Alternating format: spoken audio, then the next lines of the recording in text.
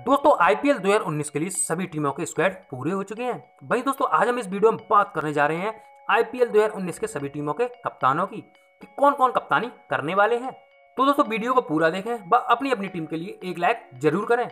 व क्रिकेट व आईपीएल की हर खबर सबसे पहले पाने के लिए हमारा चैनल ज़रूर सब्सक्राइब करें व बेल आइकन भी दबाएँ। तो आइए दोस्तों, शुरू करते हैं। तो दोस्तों, सबसे पहले बात करें मुंबई इंडियंस की। तो मुंबई इंडियंस की हमेशा की तरह एक बार फिर से रोहित शर्मा कप्तानी करते हुए दिखाई देंगे। भले ही लास्ट आईपीएल में टीम का प्रदर्शन अच्छा ना हो, लेकिन दो बार उन्होंने आईपीएल जिताया भी है। वही दोस्तों, दूसरे नंबर पर बात करें सनराइजर्स हैदराबाद की। तो हैदराबाद की कप्तानी शत प्रतिशत केन विलियमसन करेंगे। भले ही डेविड वार्नर की टीम में वापसी है, लेकिन वो पूरा आईपीएल नहीं खेलेंगे। वहीं दोस्तों, तीसरे नंबर पर बात करें रॉयल चैलेंजर बैंगलोर की।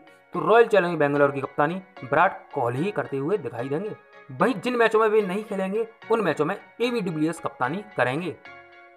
चौथे नंबर पर बात करें दिल्ली कैपिटल्स की। तो दिल्ली कैपिटल्स की कप्तानी श्रेयस अय्यर ही करेंगे। पाँचवें नंबर पर बात करें चेन्नई सुपर किंग की। तो इस टीम का कप्तान आप सभी को पता है। आप हमें नीचे कमेंट करके बताएँ, ये मैं नहीं बताने वाला। छठवें नंबर पर बात करें राजस्थान रॉयल की तो स्टीव स्मिथ की वापसी हो चुकी है। बाबे पूरा आईपीएल खेलने वाले हैं। तो स्टीव स्मिथ राजस्थान रॉयल की कप्तानी करते हुए दिखाई देंगे।